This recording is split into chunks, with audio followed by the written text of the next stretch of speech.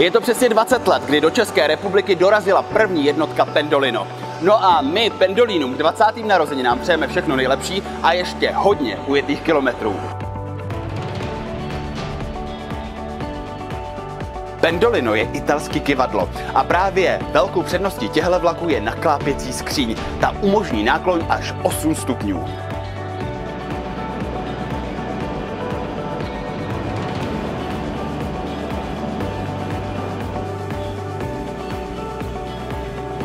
Pendolina u nás najeli už skoro 39 milionů kilometrů. Třeba tohle s číslem 4 už ujelo tolik, že by obkroužilo planetu Zemi skoro 140krát.